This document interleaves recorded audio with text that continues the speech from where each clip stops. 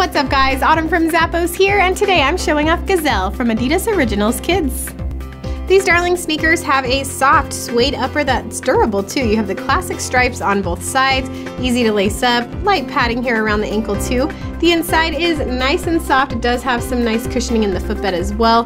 Great flexibility with every step, and it's all on top of a rubber outsole. Simple, cute, simply cute. Make sure you're wearing these from Adidas Originals Kids.